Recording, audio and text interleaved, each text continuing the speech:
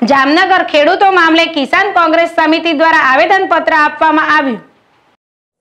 જામનગર જિલ્લામાં ચાલુ વર્ષે અતિવૃષ્ટિ થઈ અને કેટલાય ગામોમાં ખેતીના પાકો જ નહીં, પરંતુ ખેતરો ધોવાઈ ગયા. ત્યારે જામનગર જિલ્લા અને કિસાન કોંગ્રેસ દ્વારા જિલ્લાના અસરગ્રસ્ત ખેડૂતોને રાહત પેકેજમાં થઈ રહેલા અન્યાય અંગે તેમજ ખેડૂતોને પૂરા વોલ્ટેજથી દસ કલાક વીજળી આપવા ઉપરાંત મુખ્યમંત્રી કિસાન સહાય યોજનાની અમલવારી કરવાની માંગણી સાથે જિલ્લા કલેક્ટરને આવેદનપત્ર અપાયું હતું. રાજ્યના મુખ્યમંત્રી તથા કૃષિમંત્રીને પાઠવેલા આવેદનપત્રમાં જણાવ્યા અનુસાર, નેચરલ કેલામિટી એક્ટ દુષ્કાળગ્રસ્ત મેન્યુઅલ બે હજાર સોળ અને મુખ્યમંત્રી કિસાન સહાય યોજનાનો કાયદો પ્રવર્તમાન સમયમાં ગુજરાતમાં અમલ છે.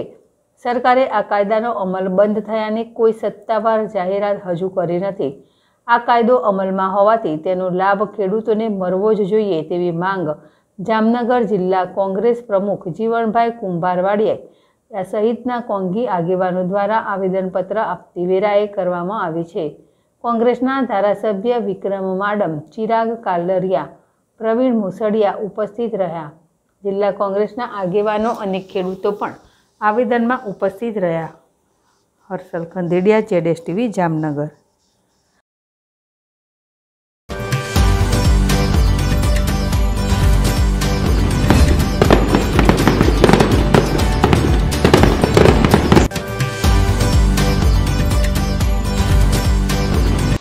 દિવાળીના પર્વની હાર્દિક શુભકામનાઓ તેમજ નૂતન વર્ષા અભિનંદન. અરવિંદ એમ ઠાકોર, એડવોકેટ, ગુજરાત ક્ષત્રિય ઠાકોર સેના બનાસકાંઠા જિલ્લા મીડિયા કન્વીનર, વડનગર તાલુકા ઠાકોર સેના પ્રભારી, ગામ ધનપુરા તાલુકો અમીરગઢ જિલ્લો બનાસકાંઠા.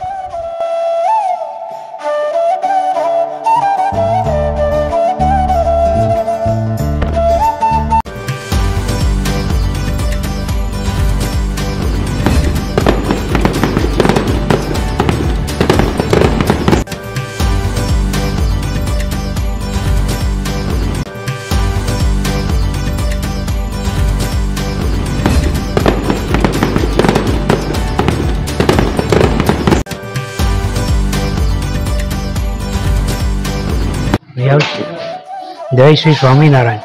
ભાઈઓ અને બહેનો, આપ સૌને નવા વર્ષની શુભેચ્છાઓ. આવનારું નવું વર્ષ તમારા અને તમારા પરિવાર માટે ખૂબ સુખમય અને સમૃદ્ધિ લાવે અને તમારું આરોગ્ય સારું રહે તેવી આપ સૌને વક્તાપુર સેવા સહકારી મંડળી તરફથી શુભકામનાઓ.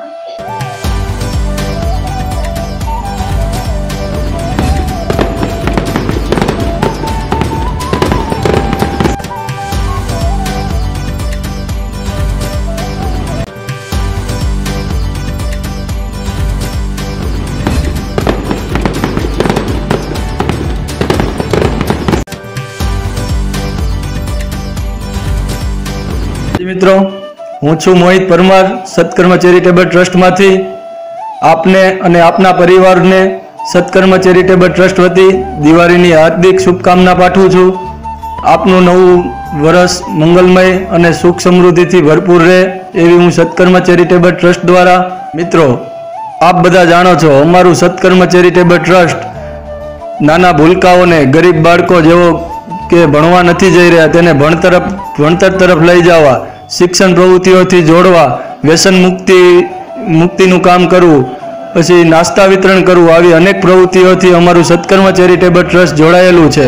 અને આપના સાથ સહકારથી, આપના ગ્રામજનોથી અમે આવી પ્રવૃત્તિઓ આગળ ને આગળ વધારેમાં વધારે કરતા રહી એવી હું નવા વર્ષ નિમિત્તે આપની પાસે અપેક્ષા રાખું છું.